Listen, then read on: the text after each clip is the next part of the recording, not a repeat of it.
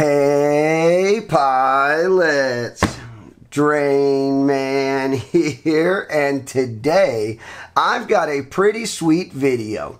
In today's video, we are going to be checking out this all new Champ. This is a Champ stack. It is a flight controller ESC combo packed in a tiny, tiny form factor from a fairly new brand, loaded down with features, and it's it's pretty sick. And you may be thinking, well, why do we need a new brand? And why do we need new this? And why do we need new that? I like what I have and I like what I fly and the price is good and I'm not complaining. Or you're on the other side of that and you're going, hey, what's new? What do we got? And that's, that's me right there. I want to know what's new. What do we got? What do they have to offer? And what is the name? Well, guess what? The name is Oxbot. Have you ever heard of Oxbot? I haven't heard of Oxbot. And this is the Champ, which is short for champion. So let's check out the champion. All right, pilots, so here's the deal. They seem to be fairly new. They've been around for about a year or so, and they make two options of their stack called the Champ. And they seem to be the exact same lineup, and they did send me both, and we can take a peek at both if you'd like, but they appear to be exactly the same, except one is running the ICM 42688, and the other one has the MPU 6000. As far as the flight controller goes, we are on an STM32H7 7 Who knows about the H7? Yes, that is a very, very powerful MCU. And as far as the ESC goes, it is a 60 amp 4 in 1 ESC. So let's go ahead and crack this open. It comes in a nice little box. You've got your QC, you've got a couple stickers, you've got your full on menu and Q. Ooh, lordy, that is a long long, long instruction guide right here. Whew, look at that. That is actually very, very small. Here's our ESC, also very, very small. And then if we open this up, what do we got in here? Okay, so we've got connectors, we've got grommets, we've got standoffs, we've got our XT60 with a built-in capacitor. All right, I'm gonna come inside the bag and I'm gonna grab the connectors and I want one for that, one for that, one for that. And look, this one is actually pre-cut and pre-tinned so that way you can quickly solder up any VTX you want. And it does do plug and play with the DJI O4 Lite.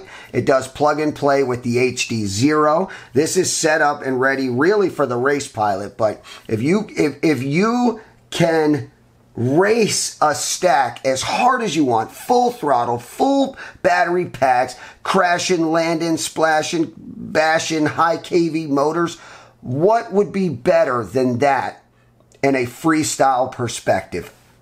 I, I don't know. Maybe I'm wrong. Maybe I'm wrong. And then we're going to go ahead and connect it to the flight controller as well. And it looks like on both you have broken out pads for any reason. If you were to break this connector, you would just solder these up. Not a big deal. Which is a very nice and very important touch. All right, there you go. And then right here looks to be a jumper whew, that goes on this end.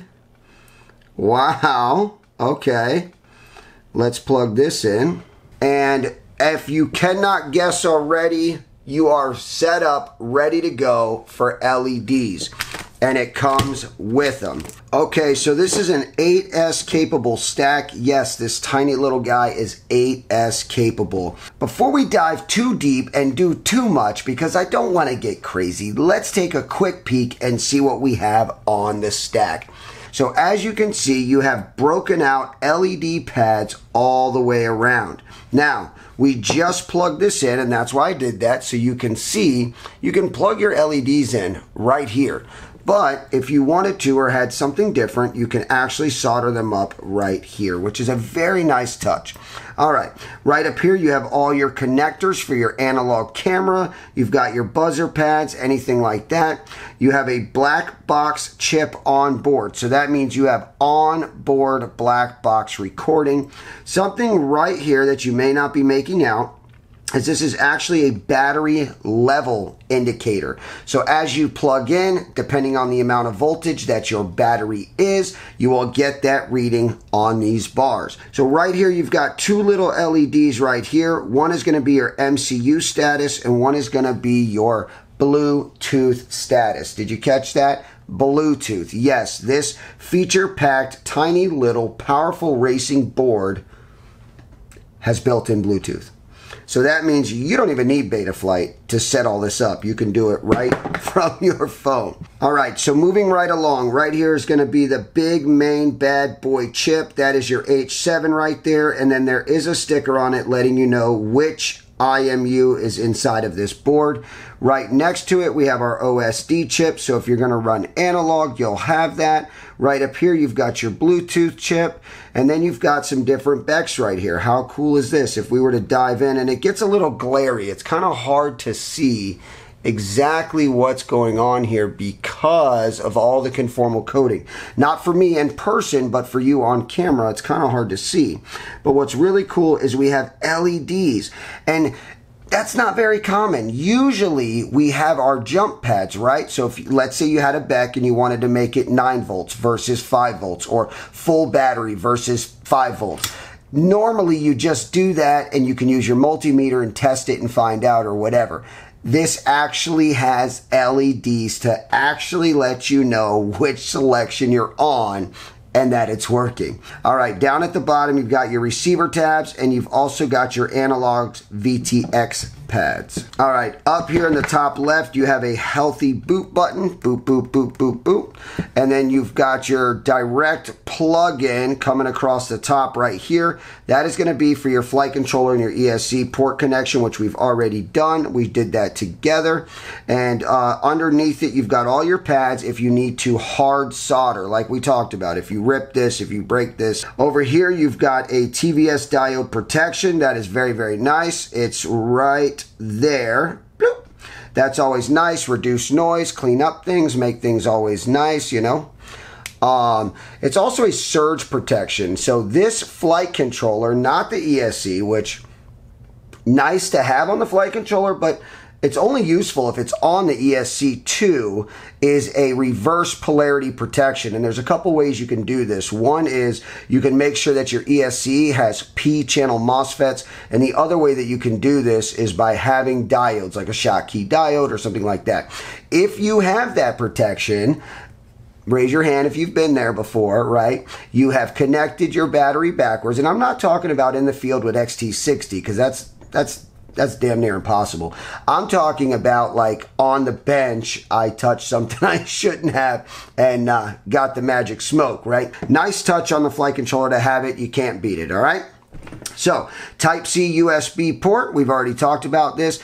Inside of here, you've got all your BECs right here lined up, ready to go. We've got a 5 volt 2 amp BEC. We've also got a uh, switchable 9 volt 5 amp 2 amp BEC and that one I'm actually it looks like it's lower. It's probably right about here. So you've got a BEC here BEC here but switchable is nice. That means when you uh, take the pads you'll have three pads and you'll jump like middle to here gives you 5 volt or you'll unshort that and you'll bridge these two together and that'll give you 9 volt. Okay so right here I am noticing that we have an LED control jumper Ooh, that's a nice touch. So just like we would switch and jump a BEC, we've got three pads here, right? We can jump the middle to one and let this LED uh, controller be controlled by Betaflight, where you'll select and line out your colors and control everything through Betaflight like you would on any other LED situation, okay?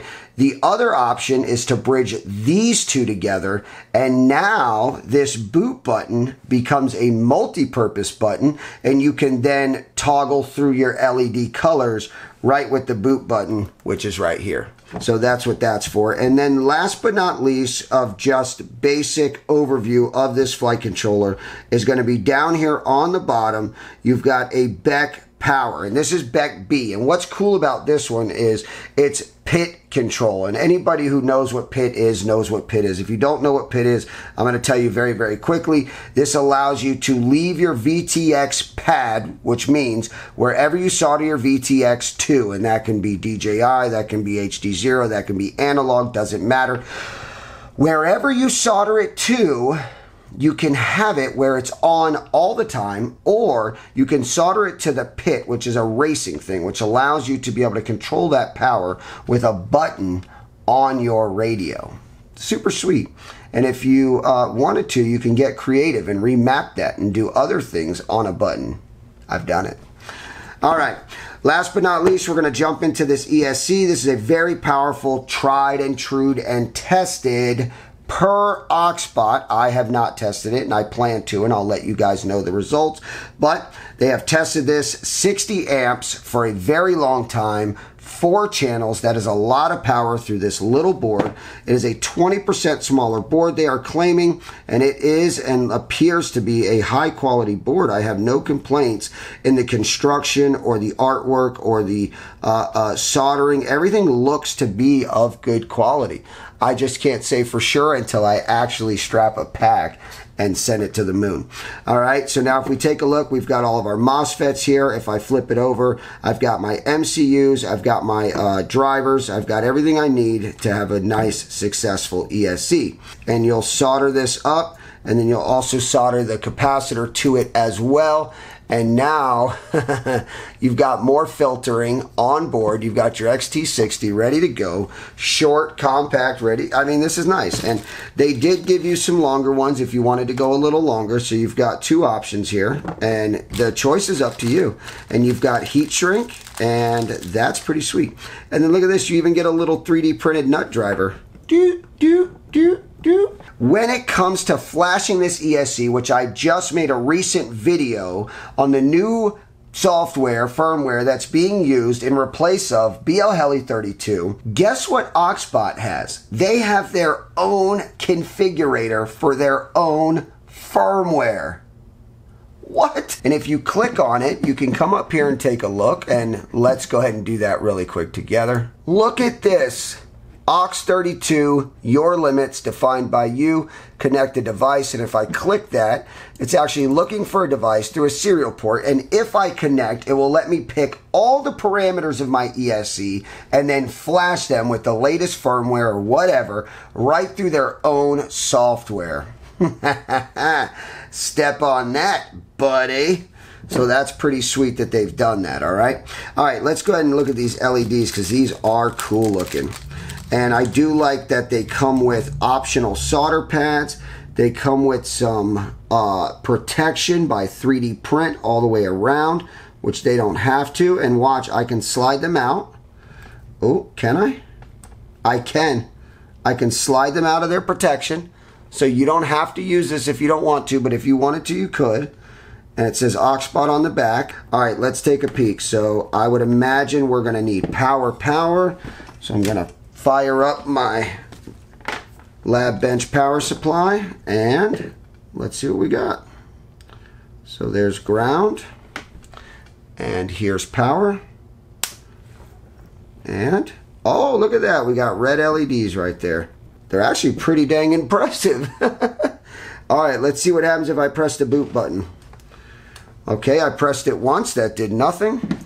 Let's take a look. So you will double click to cycle through the colors. The following six colors will cycle. Red, yellow, blue, green, cyan, which is a bluish, and magenta, which is a purplish.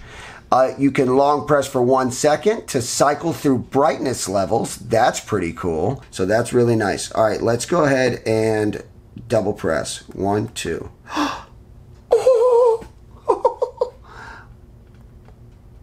One, two. Oh, nice. Ah. And this is the boot button I'm using. Wow, that's that's nice. It's nice. it is. It is. Uh, I can't argue with that. All right, now let's flip it over. Looky here. So what we're looking at on the flight controller in LEDs, which we've already discussed, is we've got our BECS letting us know what selections we have. We've got our MCU letting us know that we've got power and everything is good. We've got our Bluetooth flashing letting us know that our Bluetooth is working and putting out signal. And last but not least, three green bars in color means that we have full battery voltage or 90% plus. Pretty sweet. Now watch, if I turn down my variable bench power supply, we should watch these three green. Can you even see the three green? Okay. You should watch these turn to yellow. Look, there they are. They're yellow. Oh, we're down to red flashing. There it is, yellow, and then green.